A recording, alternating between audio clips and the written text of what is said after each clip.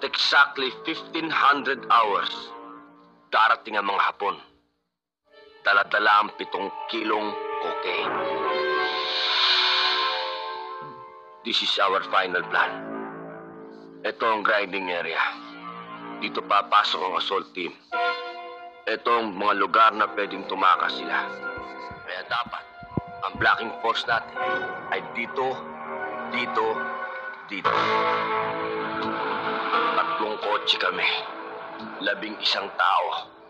Kasama si Don Julio. Wala akong tiwala sa mga sakang na yan. Kaya kumanda kayo. Kung wala kang tiwala, lalong wala akong tiwala sa Kristong Hilaw na to. Tandaan mo, bossing. Si Judas Balbasarado din. Ikaw ba hindi nahihiya sa itsura mo? Ang tanda-tanda mo na, pakyut ka pa. Tama na yan. Dapat dito, boss, magretiro na eh.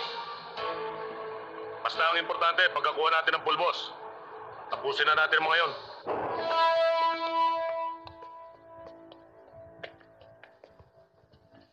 Mina no kotto, shinjira rinai. Sorry de jaijimu wa kioskite. And just in case it tried to get away, blocking team. Yes, sir. Kung malusutan ito, ambush position dito. Ito. Alpha, yun position. dito. Aarangin na namin. Our position is secured, sir. We have a clear line of fire, over. Team Bravo, are you in position?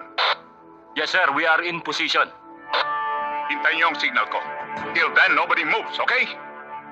Copy, sir.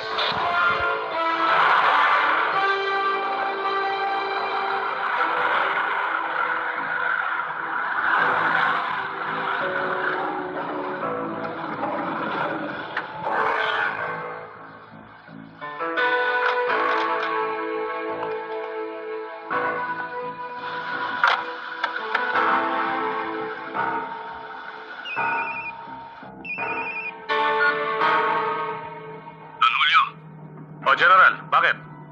may problema. Napasok tayo. Nakahanda ka ba? Oh, pero... Sino?